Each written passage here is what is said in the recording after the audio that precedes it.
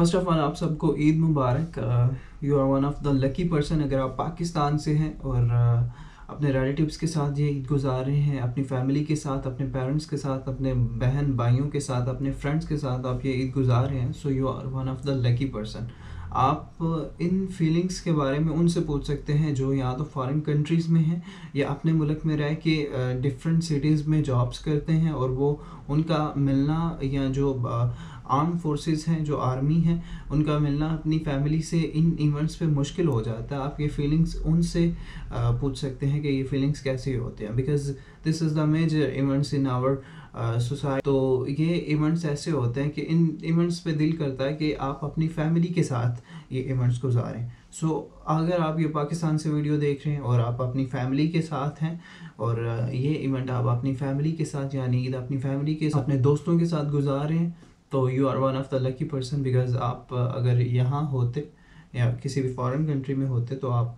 ये बेहतर समझ सकते कि फीलिंग्स कैसी होती हैं। बहरहाल परदेशियों में तो वैसे भी परदेश परदेश में तो वैसे भी परदेशियों की ईद जो है कुछ खास नहीं होती, बस फॉर्मेलिटी ऐसे फॉर्मेलिटी पूरी की जाती है।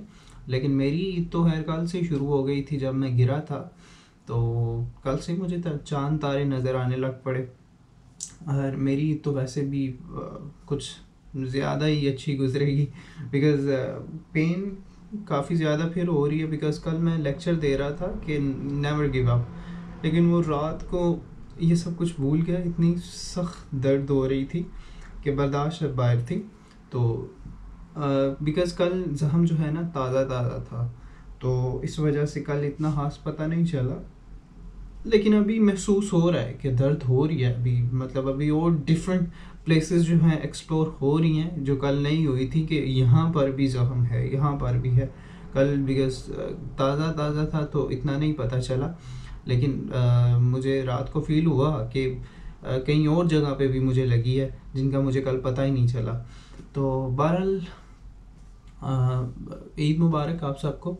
और उम्मीद करता हूँ कि आपकी ये ईद बहुत ही अच्छी गुजरे और मेरी बेस्ट विशेज़ हैं आपके साथ। और बड़ी ईद है, बक गोश्त वोश्त बकरे शकरे इकट्ठे करें और खूब इंजॉय करें, खूब पार्टीज़ करें। एंड मेरी तरफ़ से आप सबको ईद मुबारक।